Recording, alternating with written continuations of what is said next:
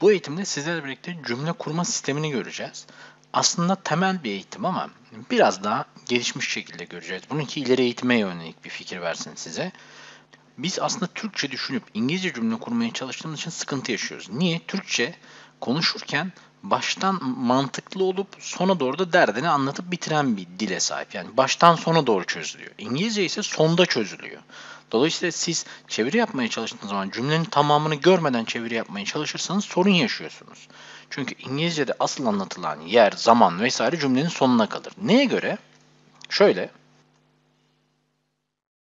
Temel cümle yapımıza bakalım. Türkçe'de biz özne, nesne, yüklem olarak çalışırız. Dolayısıyla yani Ebru gitar çalar dediğimiz zaman çok mantıklı bir cümle oluyor. Ebru'nun kim, neyi, gitar, ne yaptığını direkt görebiliyoruz. Şimdi çok temel, üç kelimelik bir cümleden bahsediyoruz. İngilizce'de ise bu sıralama terse dönüyor. Yüklem ve nesne yer değiştiriyor. Dolayısıyla ne yaptığını daha önce öğreniyoruz. Peki ne yapacak? Neyi çalacak? Ne zaman çalacak? Nerede çalacak? Bunların hepsi bir muamma olarak kalıyor. Siz Ebru plays diye okuduğunuz zaman he, diyorsunuz ki Ebru çalıyor. Neyi? Nerede? Ne zaman? Bu cevapsız kalan kısımlar. Bizde ise daha yükleme varmadan önce her şeyi öğrendiğimiz için olay çözülmüş oluyor. Bu temel cümle yapı farkı. Dikkat ederseniz yüklemin yeri değişiyor. Genelde de öznenin hemen dibinde bitişmeye çok meraklıdır. Ama eğer biraz daha kompleks şekilde bakarsak, gelişmiş cümle yapısında İngilizce'de özne yüklem nesneden sonra zarf grubu gelir. Tabii ki burada daha fazla şeyler de geliyor. Yani sırf zarftan kastetmiyoruz ama e, sıfatını, zamirini, edatını, dolaylı vesairesini hepsini kapsayacak mantıkta bakabilirsiniz. Hiç sorun değil. Biz sadece bu eğitimde hemen özne yüklemden sonra belirteç, yer, zaman sıralaması olduğunu ve bunların sırasıyla geldiğini unutmuyoruz. Bunları da nasıl bulursunuz? İşte özne için kim? Bunlar Türkçe'de de e, ilkokulda öğretilen şeyler. Yüklem için ne yaptı, nesne için neyi sırasıyla bunları buluyoruz. Sonra nasıl, nerede, ne zamanını öğreniyoruz. Örnek, he sold his car last week. Yani arabasını geçen hafta sattı. Onun arabası. Bizde iyilik ekleri biraz daha farklıdır biliyorsunuz. Ve Türkçe'de fiiller zamanlara bu şekilde çekilmez. Gerçi e, düzenli ve düzensiz yani regular ve irregular verbs var ama öyle ya da böyle fiillerin çekilme sistemi böyle değildir. Zaman bizde çok daha geniştir. İngilizce'de de present perfect continuous vesaire hikayesi var ama konuşma İngilizcesinde bu kadar detaylandırmıyorlar. Gördüğünüz gibi zaman bizim için üçüncü hanede geliyor. Ama diğer ikisi yoksa, eğer bunlardan bir tanesi varsa, Didem plays tennis at school, nerede oynadığını söylüyorsunuz. Ama eğer buraya bir zaman ekleyeceksiniz, mesela işte each week ya da every Saturday, her cumartesi vesaire, o zaman Didem plays tennis at school every Saturday diyorsunuz. Yani at school'dan sonraya geliyor. Birazdan buna yine değineceğiz. She watches movie alone. Hangi şartlarda izliyor filmi? Ya da in dark. Yalnız izliyor, karanlıkta izliyor, sinemada izliyor vesaire. Ama belirteç olarak ne durumda izlediğini yazıyorsak alone.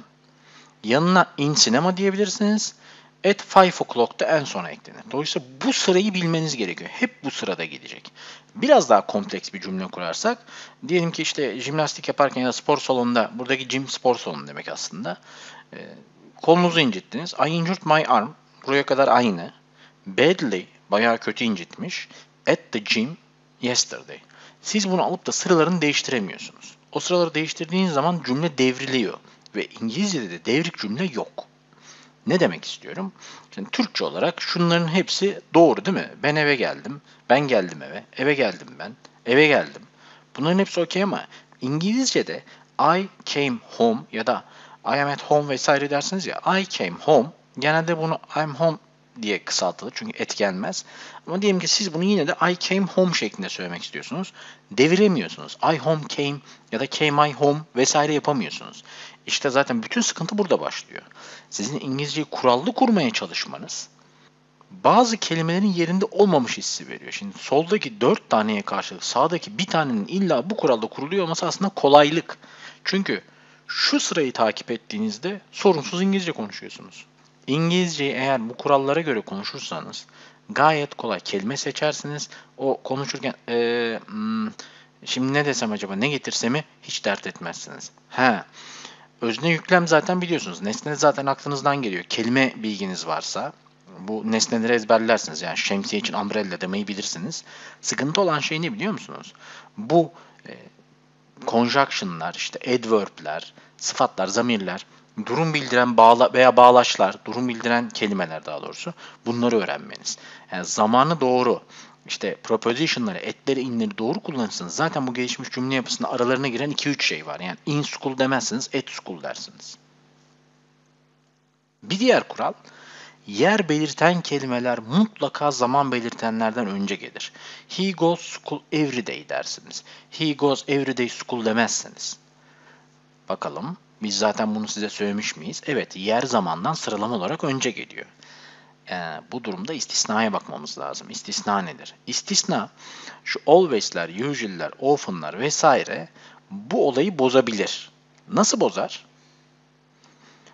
Bakın bunların geldiği yerler bazen hemen özneden sonraya kayabiliyor. Şimdi buradaki örnekler gördüğünüz gibi she always comes late. Her zaman geç gelir.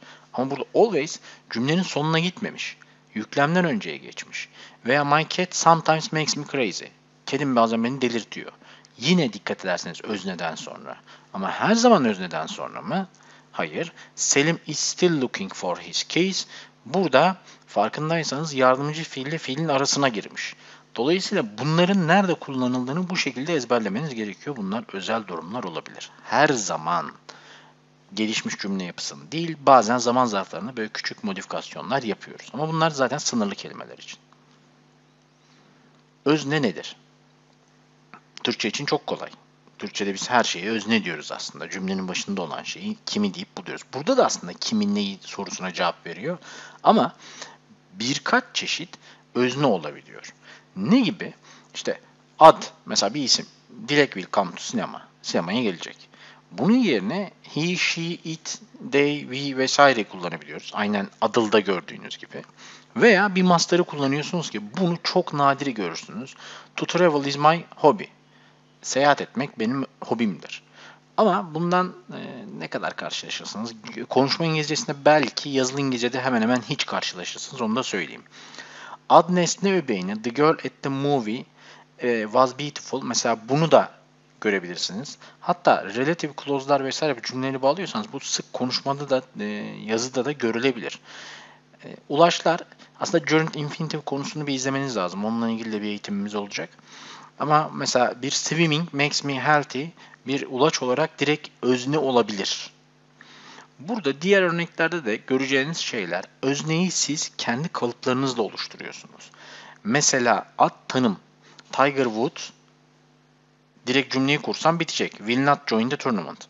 Turnuvaya katılmayacak. Ama arada bir açıklama vermek istiyorum. The best golf player. Golf player. Böylece görüyorsunuz ki arada Tiger Woods için bir açıklama var. En iyi golf oyuncusu olduğunu. Ama bu da özneye dahil. Yine Will'den önce geliyor farkındaysanız. Ha bunların istisnaları var. Ee, bazen birine bir şey yaptırmak mümkün olabiliyor. I wanted him to come with us dediğiniz zaman o zaman bir öznem him bir öznem to come. Yani hem mastar öznem oluyor hem adıl öznem oluyor. Cümlelerde nadiren de olsa bu tür ettirme, bir iş yaptırmalarda iki tane öznemiz olabiliyor ama çok nadirdir. Gelelim yüklem kavramına. Şimdi öznedense yüklem biraz daha karışık. Çünkü birkaç grupta toplanıyor. Her şeyden önce e, mantalitesine göre fiziksel verb'ler yani yüklemler var. Bunlar bir şeyi yapmak işte koşmak, yemek, kırmak, zıplamak vesaire. Burada gördüğünüz gibi run, eat, break vesaire.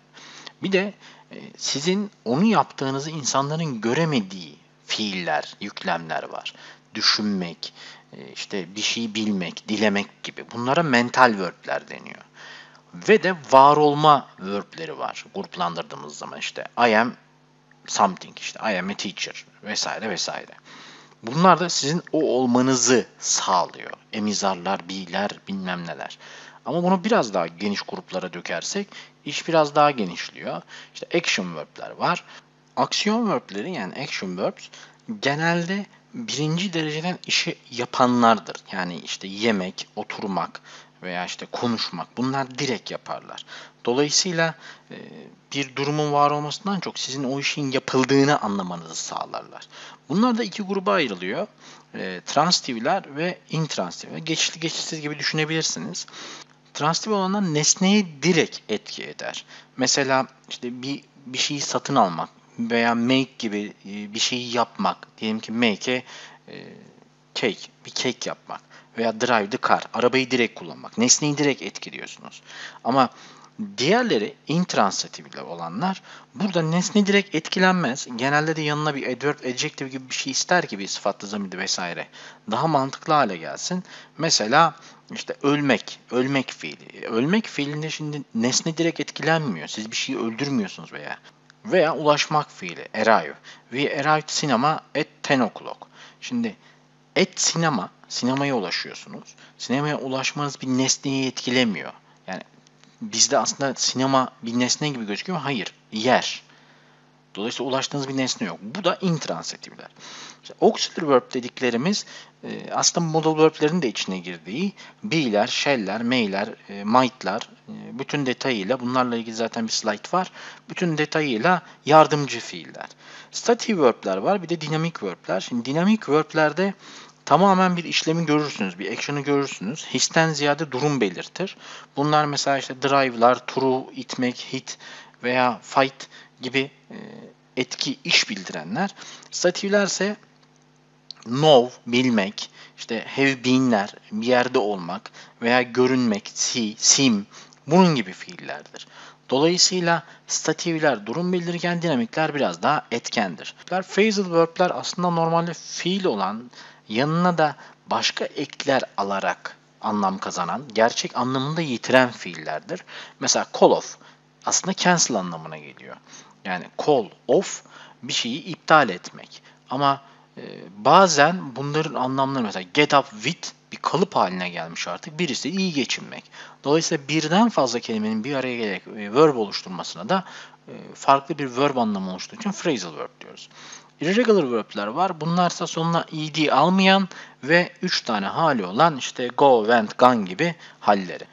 Bir de fiillerin cümlenin içinde kazandığı anlamlar var. Buna örnek verirsek nasıl anlam kazanıyor bu fiiller?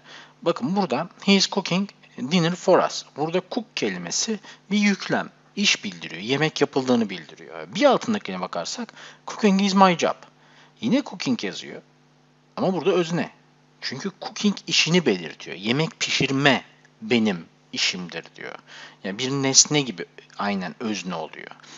Bir alta bakarsak I don't like cooking every day. Burada da nesne yerine geçmiş.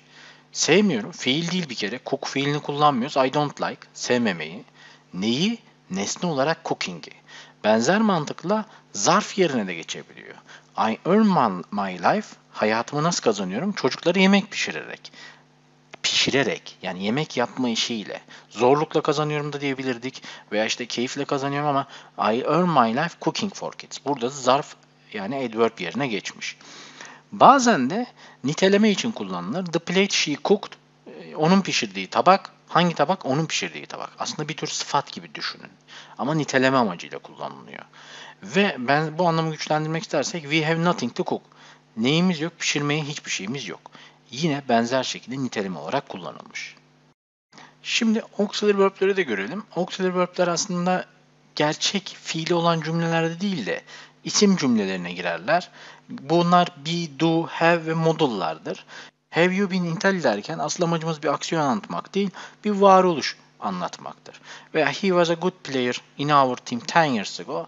Onun ne olduğunu, var olduğunu anlatıyoruz. O yüzden de auxiliary verb'ler genelde bu gördüğünüz be, do, have ile ve bunların zamanlara göre çekimleriyle olur. Bazen de I have been gibi bunları yan yana da görebiliriz ama orada lütfen kafanız karışmasın o apayrı bir durum. Cümle yapısını ve bu cümlenin yapısının içerisindeki elemanları gördük. Asıl yapı bu. Bu yapıyı korumanızı rica ediyorum.